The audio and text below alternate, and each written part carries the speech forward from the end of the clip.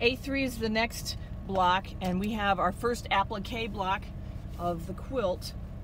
And so what we have here is pretty straightforward. You've got one big square for the background and then you've got four football shapes for the center and the trick is how to get it into the center. So in your pack you have four footballs but you have this piece too. Okay, this piece is going to be used for placement.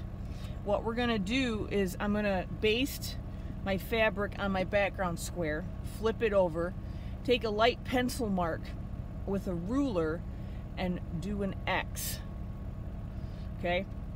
And then what I'm going to do is I will place this with all four corners on the X and staple it down. And so once that's stapled down, and then I need to base these as well, um, I'll place these in position and staple those down. I staple because stapling paper seemed kind of like a non-brainer or no-brainer, but um, it also has two anchor points that are relatively strong. Um, I'm using a high thread count batik, so the hole that the staple makes should go away. If it shows it should go away with steaming, you just want to make sure you don't snag it. And I've not had a problem before with the last quilt, so I'll continue to do that. With these, for basting, you're gonna, I'm gonna do a gathering stitch. So I'm gonna take a knot and come up from the front here. So I'm gonna, I'm gonna take my needle through here and come up here. And then I'm gonna start, I, I'm right-handed, so I'm gonna start this way. And so then I will do gathering stitch through here and then I can pull it and then the, the, the uh, I'm going to go back through here at the end of this arch and then pull it down. And then I'm going to come back up from a different point near there and then do the same thing on this side and then pull it shut. So you're going to end up having a lot of a lot better curve than you would if you were trying to fold this over because you're going to get a lot of points showing and inconsistencies with the curve because that's the kind of thing that happens. So um, I'm going to go ahead and baste all my pieces and then I'm going to go ahead and do my, my pencil X on the background so then I can place my center piece. So I've basted my square and I've got my pencil line. I'm not sure if you can quite see it, but there's a line here and a line here that intersects in the middle. So I'm going to take this center portion and I'm going to line it up on all four lines. So I got this two, and once you line it up on all four lines, because you centered it to begin with, this also will be centered. Okay, so then I'm going to keep holding it there, and I'm going to take a stapler, because it's paper and all that, so I'm to take a stapler and just staple it right there to keep it there. This way, if you pin it, you get this dimensional effect and it pulls it up and then it changes where it ends up. So this is a really good way to keep it centered. I'm sure there's different ways to do it as well. This is just what works for me. And then um, I just, what I do at the end is I pry this up and pull it. But um, this is what's gonna center my football pieces. So I'm gonna set this aside a minute and now we're gonna baste these football pieces. All right, so I got a thread that shows up on black. Normally I use black, but for this purpose I'll use this. So I'm gonna start, because I'm right-handed, and it's easier for me, I'm gonna start over here, and I'm gonna come up right about there, and I've got a knot on this side. So I'm gonna start right about here-ish, and you don't want to be too close to the edge but you don't want to be too close to this bottom either because you're going to base it you're going to do this twice essentially. So I'm going to go I'm going to do a gathering stitch which is just a you know in and out kind of a thing. And then pull through. I'm going to do this all the way across the top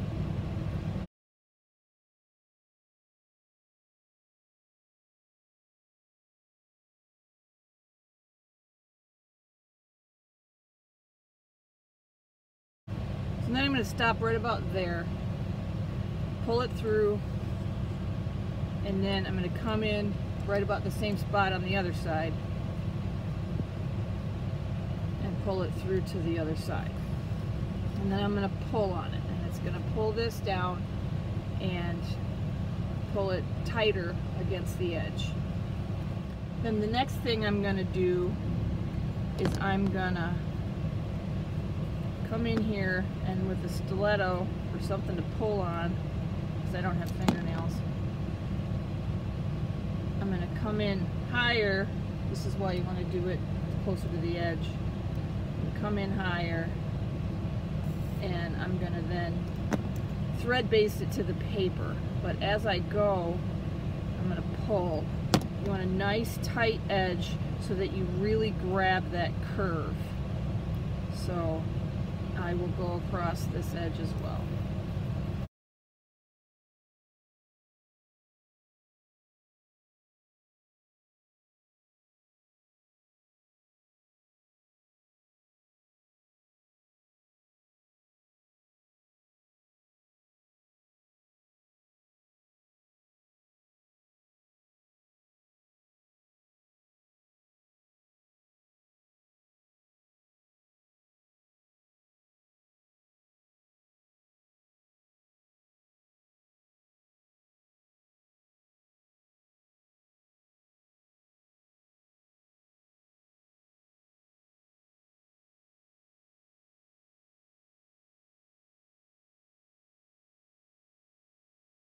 Now that I've reached the end, I'm going to come up near the knot that I made the first time. And when I'm pulling, I want to do really tight. That's why I don't want to use my needle because I've snapped needles before. So just to be on the safe side. And then this one, I'm going to do the opposite direction.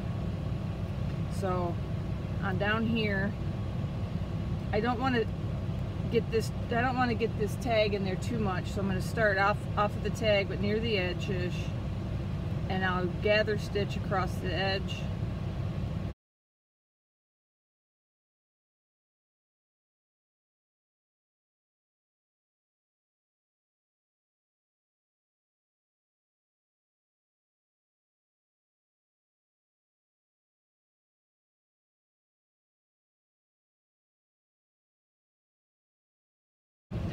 And then I'm going to go through that same corner over here in a different spot. You're going to take all this out when you're done anyway, so it's not that big of a deal. You just want it for tightness. And then you pull it again. And then you, again you go back across it with the stitch. You go back across, pull it tight, so then just thread baste it to the paper. So, when you get to this edge, I just get under stitches and tie it off. This is also covered in my applique video or basting your pieces or something like that but I just wanted to cover it since this is the first applique block. So then I'm going to snip this off. Alright, so now I have a football shape with little tags on it. You're going to stuff these underneath when you applique it but you want it as tight as possible, not only to make sure that you maintain a nice shape, but because you have to line it up here as best you can. So the idea is to put it right against this edge and then the points, I usually like to put the tags on the outside so you can see the point line really good. So the points are going to be lined up on that pencil line also.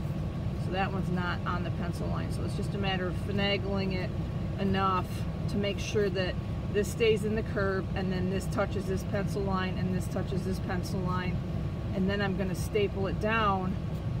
And I'm not going to stitch it down until I get all four of them on here because you want to be able to adjust them as you go. So I'm going to make sure that this one's in place the, it, uh, pretty much as much as I can and then that way I'll have a better chance of making it even, but because it's stapled, I can reposition it if I need to. So I'm going to go ahead and base the other three footballs, and then we can work on placement there. So I've got all of these stapled on here. The corners are really close to the line, but in some cases, I'm not sure if you can quite see that, but they're not exactly touching. What you do is you finagle those and maneuver them into final position as you applique. So that's what I use my stiletto for. My stiletto comes in very handy for applique. So I would pull this over here and stitch it down and that still maintains this curve and then the same thing over here. So if you're interested in the actual applique techniques, I have an applique video in my general information section. I'm not going to go through it on this. It makes it a lot longer. But um, this is my positioning. And so now I'm going to go ahead and applique. And I applique with the black thread. And it goes just under when I come when I come up from my from behind. I'm not going to go on the fold, I'm going to go just behind it a couple of threads. So that way when you pull on it, it pulls it straight down rather than out. But I'm going to go ahead and do that. So I started appliquing on this and I quickly realized that um, because I have to pry this up to get under it, that this paper's in the way. So I'm going to go ahead, I took the staple out, and so I'm just going to go ahead and set this aside. I'm not going to get rid of it completely because I might need it for some reason in a, in a bit, but um, I just wanted to explain why I took it out. So I've got all these applique on here. I'm going to go ahead and just set that aside. I don't need that anymore. I have taken out my staples. I pulled them up with my stiletto. I pried them up from the back and then gently pushed them through the other side. Next thing to do is to take out my basting and the, this is why you want the knots on the top. So when you're taking out your basting, and I cover this in the applique video, but I'll cover this here too since this is the first applique block of the quilt. I'm gonna go ahead and I'm gonna snip my knots. That didn't work. I'm gonna go ahead and snip my knots right off of my things here and pull it, they'll come right out. This is why you do it the way you do it. Okay, so I've got my knots gone, and now it's just a matter of pulling this off. Now you just want to start, like this one doesn't want to come out, so I'll start over on this side. I'm going to pull my stitches through. And keep in mind you've got another sec going back the other way. And if you need to clip them, this one's going to be difficult, of course need to clip it.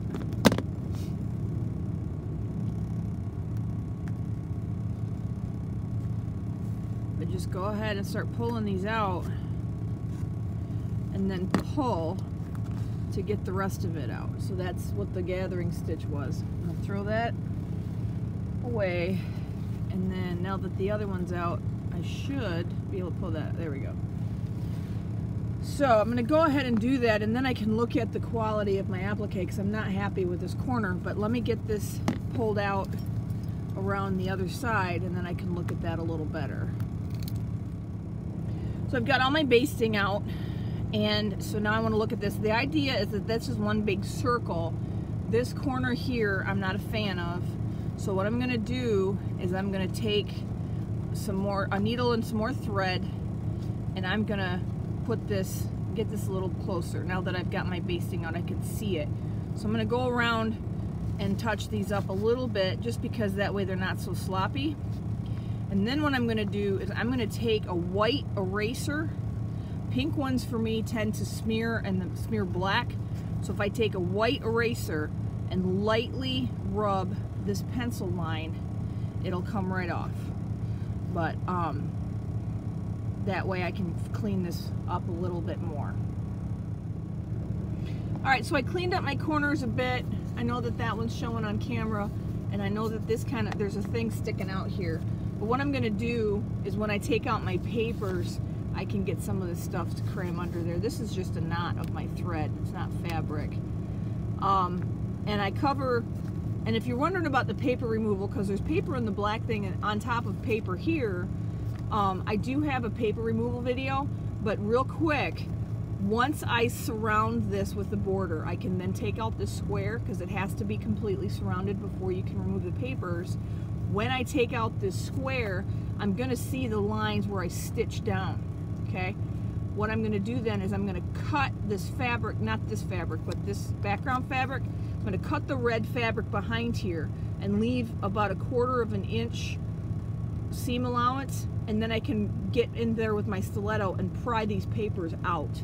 That way you don't have to worry about having these in there but right now you're kind of like well why how do I get my papers out? So that's how you get your papers out. If you want some more detail and actually see how it goes it's in my removing your papers video on my YouTube channel. But as of now my A3 block is complete and we'll go on to the next one